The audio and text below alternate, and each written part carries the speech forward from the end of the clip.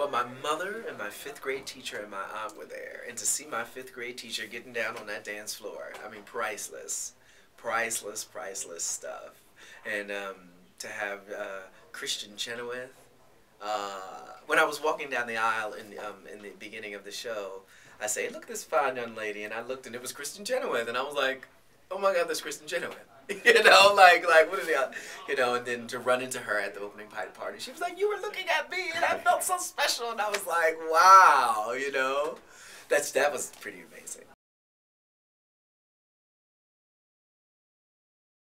Right after previews, we had a rehearsal where we uh, where we did monologues of our of our own stories of our characters, and I did you know Ozie Powell, and to hear other people's monologues about where they came from and, and who they were and how they got to where they were, and what would happen after you know they uh, get out of jail. Or that was very that was a very interesting rehearsal, Mhm. probably the most uh, informational. You know, I really you know learned so much about these people. It's Mhm. fantastic.